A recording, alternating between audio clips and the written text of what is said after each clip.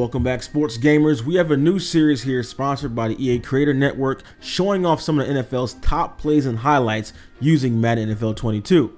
This week we feature Antonio Brown of the Buccaneers who absolutely tore it up versus the Miami Dolphins to the tune of 7 catches for 124 yards and 2 touchdowns.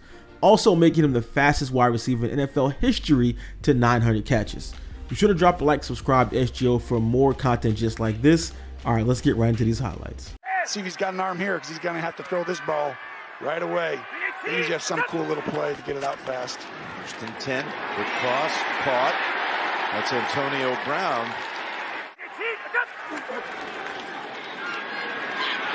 Right across the middle. Able to pick up the first and a whole lot more. Antonio Brown will not be touched.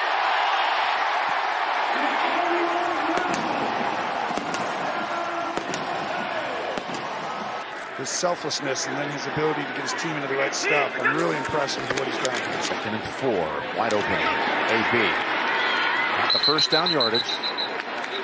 Needed four, got five. Tom, that time to look and find Antonio Brown for a touchdown. That looked like old Tom Brady and then looking and turning and firing like only. Hopefully you guys enjoyed those highlights. Let me know who you thought should have been the top highlight for this week in the comment section below. I'll catch you guys in the next one.